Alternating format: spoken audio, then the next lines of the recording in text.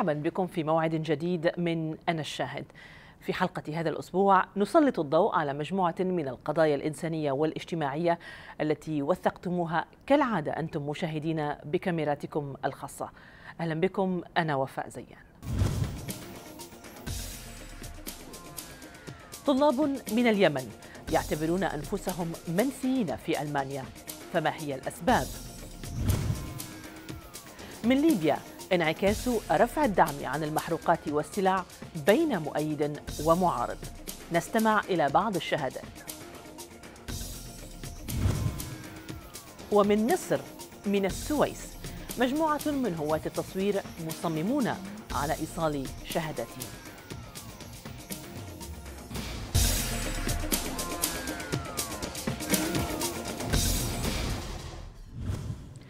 نبدأ من ألمانيا حيث يشتكي طلاب بعثات من اليمن من إهمال دولتهم لهم. هكذا يقولون وعدم كفاية مستحقاتهم المالية.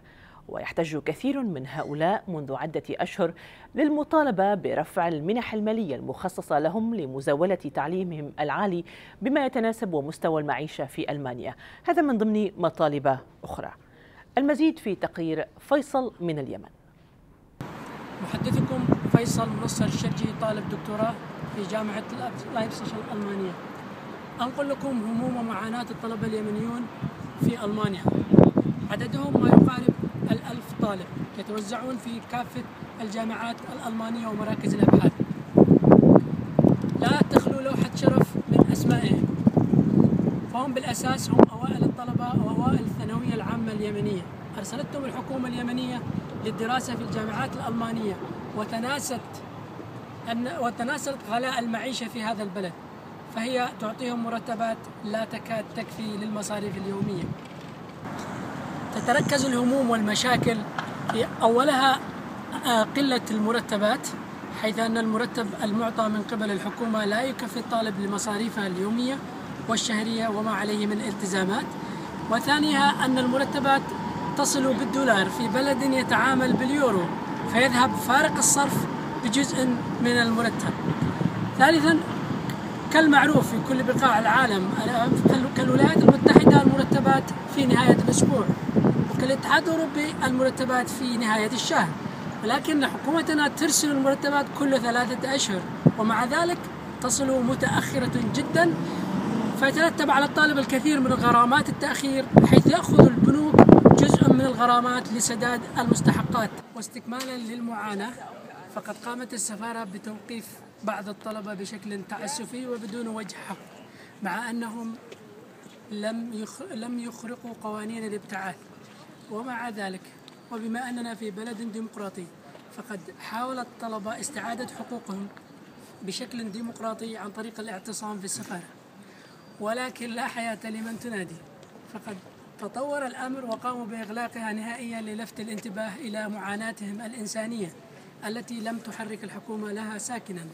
لقد توقفوا عن المطالبة والاتصال بكل منظمات المجتمع المدني والمجتمع الإنساني للمطالبة بحقوقهم بعيدا عن المهاترات السياسية. بعد أن طرق الطلاب كل الطرق القانونية والحضارية ورفع مذكرات لكن بالمقابل انهم وقفوا بإهمال وتقصير من وزارة التعليم العالي من اضطر الطلاب أنهم يغلقوا السفارة. وهذا كان إجراء اضطراري. يعني إحنا غير راضيين وغير قابلين إنه نغلق السفارة لكن إحنا مضطرين لأنه منحنا ما بترجعش إلا بهذه الطريقة. اعتصمنا بسبب إهمال وتطنيش وزارة التعليم العالي لمطالبنا بالرغم من رفع العديد من المذكرات من الملحقية الثقافية والسفارة اليمنية في برلين إلى وزارة التعليم العالي ووزارة الخارجية إلا أن وزارة التعليم العالي قابلت كل هذه المذكرات بتطنيش وإهمال تام. فمطلبنا الآن الوحيد هو عودة كل المستحقات المالية كاملة لكل الطلاب المستحقين من تاريخ القطع دون شرط أو قيد قمنا بتصعيد الاعتصام إلى إغلاق السفارة ومنع الموظفين من دخولها حتى يتم التجاوب من الداخل ولكن للأسف الاعتصام لا زال مستمر ولم نجد ولم نجد أي تجاوب من اليمن. يعاني الطلاب هناك من مشاكل كثيرة. من هذه المشاكل تأخر المنح عن موعدها المحدد انقطاع المساعدات والمنح عن عن الطلاب المستحقين. عدم حصول الطلاب المستحقين والذين لديهم هنا في أرمانيا من سنتين لثلاث سنوات على المنح ما هو رأيك في الاعتصام الجاري الآن في السفارة اليمنية في برلين؟ يكفل الدستور اليمني والدستور الألماني الحق حق الاعتصام المشروع لهؤلاء الطلاب وما اعتصامهم هذا في في السفارة إلا ناتج عن إب عن عبء كبير تحمله هذه الطلاب من قبل من قبل الحكومة اليمنية؟ ما هي رسالتك للحكومة اليمنية؟ رسالتي للحكومة اليمنية الإسراع في حل قضايا هؤلاء الطلاب لأنهم هم عمود اليمن وهم من سيبنون اليمن الجديد. كنا معكم من أمام جامعة لايبسيش الألمانية فيصل الشرجي. نقلنا لكم هموم ومشاكل الطلبة اليمنيين في ألمانيا. ولمعرفة رد السفارة اليمنية على هذه الاتهامات اتصلنا بالمستشار المالي الذي أخبر برنامج أنا الشاهد بأن السفارة رفعت تقارير عن هذه المشاكل إلى وزارة التعليم العالي والجهات المختصة وهم في ارتدار الرد.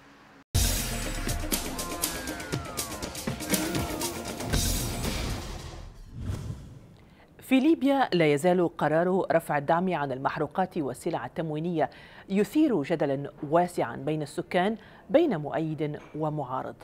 محمد أبو زيد يعرض في تقريره التالي تداعيات هذا القرار الذي أثار استياء الكثير من الليبيين. لنستمع إلى بعض الشهادات التي وثقها من هناك.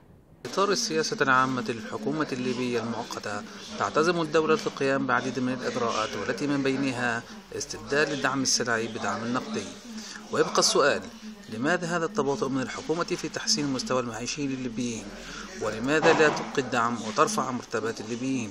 وتعجل بتوظيف الشباب وتفتح القروض الميسرة للزواج والقيام بالمشاريع الصغيرة والمتوسطة خاصة أن معدلات النفط رجعت إلى معدلات طبيعية وأسعار النفط عالية وليبيا بها خيارات كثيرة. والله بالنسبة لموضوع الدعم بالنسبة لرأينا نشوف في زي ما تقول بيعطوا دعم للمواطن البسيط هذا. الدعم بياخذه بياخذ من هنا بيستهلك كهنا ممكن هو بيزيد ينضر أكثر. فهمت كيف؟ ترى إن المواطن الليبي يفتقر إلى بعض الأساسيات فرضا إيه ويعاني من هلبة حاجات في اللي في اللي زي ما تقول مأجر في اللي كذا ظروفه زي ما تقول يخدم هنا في طرابلس هو من سكان منطقة أخرى. بيجي هنا وكذا وطبعا لما بيصير بيصير الدعم هذا بتغلى كل شيء بتغلى الحكاية على المواطن وبيضر المواطن بسيط.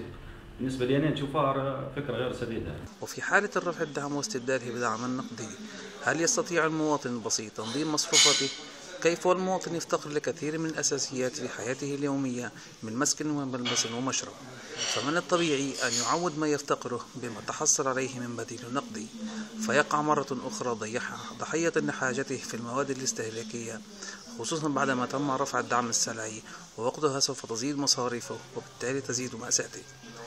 بل ورفع الدعم عن المحروقات لن يجدي نفعا. خاصة وأن ارتفاع أسعار الوقود لن يكون عادلا على بعض سكان المدن البعيدة التي تحتاج يوميا بالمواصلات من العاصمة إلى خارجها وبالتالي سوف تزيد أجرة ركوب المواصلات وأيضا بالنسبة لأصحاب السيارات الخاصة سوف تزيد مصاريفهم. من حق الليبيين جميعا أن يتنعموا بخيرات النفط وأن يعيشوا بكرامة وبرفاهية من خيرات بلدهم. كان معكم محمد أبو زيد لبرنامج أنا الشاهد.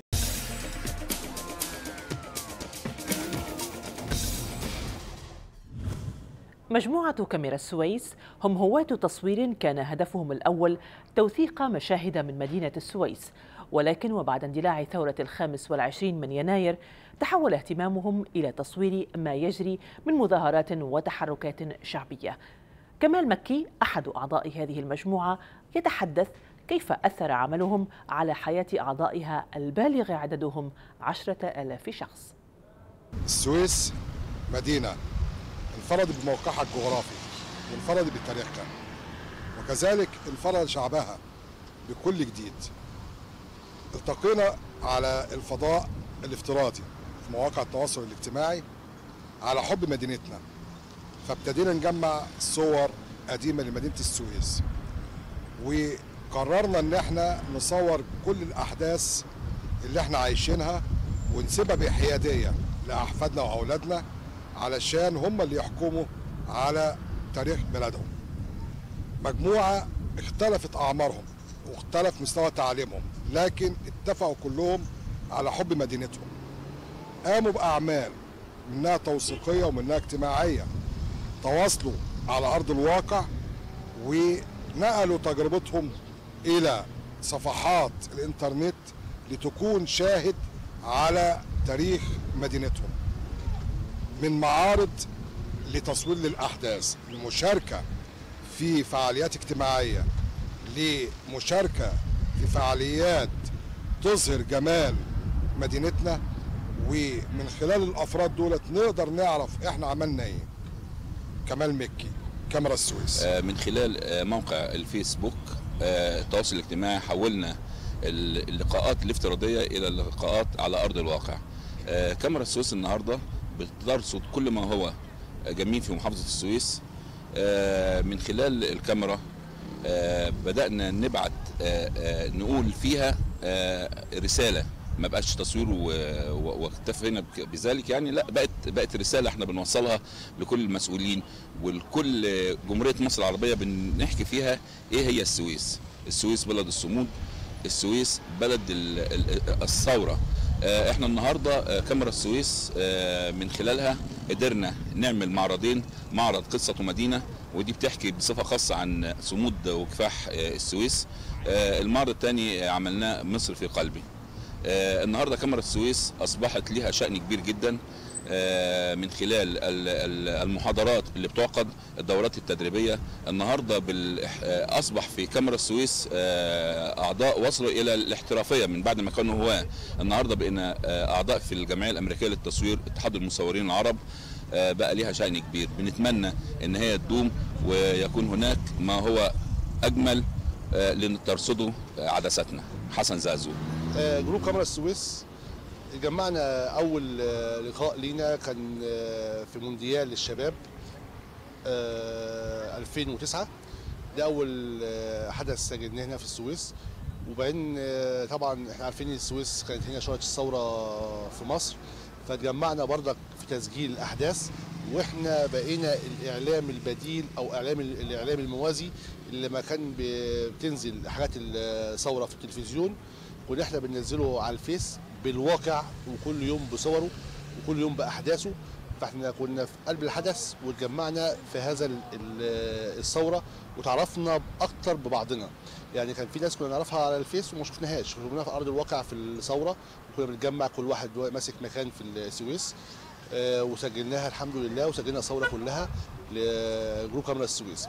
وفي قنوات فضائية برضك أخذت مننا المادة الفيلمية والحمد لله برضك ذاعوها في القنوات الفضائية. آه، نيجي لجزئيه تانية اللي إحنا سجلنا الأماكن الأثرية في السويس كلها إن كان في ناس في السويس ما يعرفوش اماكن الأثرية ديت. فالحمد لله سجلناها وسجلنا المنازل القديمة والبيوت القديمة وكل ال- الأماكن الأثرية في السويس سجلناها بحيث يبقى ديت برضك لأولادنا بعد كده إن شاء الله. هشام سمير آه، كاميرا السويس. أنا عايش في القاهرة آه، بلدي السويس. بتابع أخبار المدينة وكل الأحداث اللي بتحصل فيها عن طريق group كاميرا السويس. آه، وساعات آه، بنضم ليهم في بعض المناسبات كمال محمد كاميرا السويس. أنا بحب التصوير هواية التصوير. ال- كنت بحب أصور وأنزل أصور المناطق الجميلة في السويس وال group شجعني على كده. عمر هشام كاميرا السويس. أنا معتز من القاهرة آه، وأصولي من السويس. فكنت دايما بطمن على أحداث السويس من خلال الكاميرا. آه، معتز محمد عضو كاميرا السويس. أنا عضو في كاميرا السويس من ضمن فعاليات كاميرا السويس اللي إحنا اشتركنا في اليوم العالمي للتصوير وهو ال photo walk. آه، ال photo walk هو يوم عالمي بينزل فيه أغلب دول العالم عشان يصوروا والحمد لله اشترك فيه أكتر من 60 عضو. انتقلت السويس من المحلية للعالمية برفع صور السويس ككل. على الموقع العالمي. وكده المو... كده جميع الدول شافت السويس. أحمد هشام كاميرا السويس. خلينا نوثق بالمبادئ خلينا نوثق بالأشخاص حتى نكون شاهد على عصرنا للأجيال القادمة. نتركه بحيادية ليحكموا علينا. كمال مكي السويس.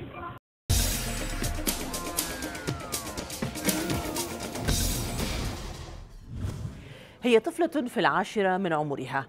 ومع ذلك فهي كاتبة وخطيبة وحازت على عدد من الجوائز في مجال كتابة رواية الأطفال.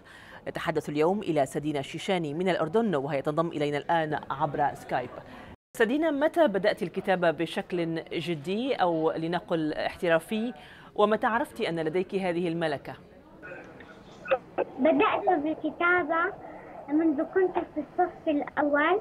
ولكن قصصي آه، آنذاك كانت تفتقر لاكتمال عناصر القصة وقد كتبت آه، أول قصة مكتملة العناصر في الصف الثالث آه، وقد كانت عن الصداقة هل هذا من الموضوعات التي تتناولينها دائما؟ ما هي الموضوعات الأخرى؟ أنا أكتب قصصي عن مواضيع كثيرة معظمها عن الأخلاق كالأمانة آه، والأخرى كالمشاكل التي تواجه الطفل. ما الذي جعلك تتجهين إلى الكتابة آه، كتابة القصة القصيرة بصفة عامة آه، سادنة؟ أحببت كتابة القصة القصيرة للأطفال لأنها تناسبني فهي بالخيال. أما قصص الكبار فأنا لا أظن أني سأكون جيدة في كتابتها. وهل هناك مثل أعلى ربما أو آه، نموذج تتطلعين إلى السير على خطاه ربما في المستقبل؟ آه، في المستقبل أود أن أكون آه، أشهر كاتبة في العالم وأن تترجم قصصي إلى عدة لغات كي تعم الفائدة جميع الأطفال وفعلا يتم العمل على ترجمة بعض من قصصي للغة الشيشانية بتوصية من نائب رئيس رابطة الكتاب السيد إدوارد ماكايي وهل هناك مثل أعلى كما ذكرت تريدين السير على خطاه في المستقبل؟ هل لديك مثل أعلى؟ أجل. والدتي. هل والدتك كاتبة أيضا؟ أجل. لكنها تكتب روايات للكبار. للصغار وللكبار نعم. هل وجدت أن سنك ربما يشكل عائقا آه، أمام كتابة هذه القصة؟ هل واجهت أي صعوبات ربما؟ آه، واجهت عوائق كثيرة آه، منها أن معظم الكتاب ومعظم لجان التحكيم كانت تستبعد قصصي من المسابقات. لأنهم كانوا يقولون أن القصة تفوق عمري أي أن أحدا ما كتبها لي ولست أنا. نعم. أعطينا فكرة عن القصص التي كتبتها في السابق. هل كانت هذه القصص تتناول موضوعات معينة؟ ما هي أشهر الجوائز التي حزت عليها أيضا؟ قصصي لا تتناول مواضيع محددة. آه، ولكنها في آه، آه، الأغلب تكون عن الحيوانات الناطقة هناك هناك جوائز عدة فزت بها كالجائزة التي فزت بها في مسابقة الأمير مركز الأميرة سلمى للطفولة بالتعاون مع مؤسسة عبد الحميد شام نعم. حدثيني هل تكتبين كل يوم؟ هل لديك وقت معين؟ آه، تقومين تقومين بخط بعض الأفكار أو المعلومات؟ آه، عندما آخذ الفكرة تأخذ آه، وقتا حتى تنتج لي افكارا عده حتى أكتب بها قصتي. نعم. وكيف ترين نفسك لنقل بعد عشر سنوات من الآن آه، نفسي قد آه، أصبحت كاتبة مشهورة؟ وكذلك والدتي. سادنا الشيشاني شكرا على انضمامك إلى برنامج أنا الشاهد. ولكن قبل أن تغادرين نود أن نستمع إلى بعض الفقرات من إحدى الروايات التي كتبتها. هذه فكرة من إحدى قصص بعنوان غيمة مسمكة التي كتبتها خصيصا لبرنامج المستكشف الصغير على التلفزيون الأردني. أمسك كل من جبادي وميت طرفا من أطراف البساط. وبعد أن تمسكا جيدا صارا إلى الغيمة وأدخلا بها الأسماك خلسة بالفعل حدث ما توقعته ميت فعندما أخذت الأسماك تسبح داخلها دغدغتها حركتها شدة الأمر الذي جعلها تصرخ وهي لا تكف عن الضحك. كفي كفي عن الحركة أيتها الأسماك. في النهاية وبعد سبح طويل أطلقت الغيمة سراح البحيرة والأسماك. فقد أدت الدغدغة الشديدة إلى تساقط دموعها فأمطرت بحيرة وأسماكا ملونة. وعندما شاهد الناس ذلك المنظر الغريب دهشوا وتحدثوا عنه طويلا ولم يكن أحد يعلم سر تلك الغيمة إلا مي جندباد. وكلما شاهد الناس غيمة سوداء قاتمة صرخوا غيمة مسمكة غيمة مسمكة. بهذه المقتطفات من رواية سدينة الشيشاني ننهي حلقة هذا الأسبوع. نحن بانتظار المزيد من مشاركاتكم على بريدنا الإلكتروني شاهد at bbc.co.uk أو عبر صفحتنا facebook.com forward slash bbc arabic شاهد. لا تنسوا أرسلوا لنا شهاداتكم عن موضوعات قد تعرفونها أنتم وتجهلها كاميرات المراسلين. أنا الشاهد دائما بانتظاركم. إلى اللقاء.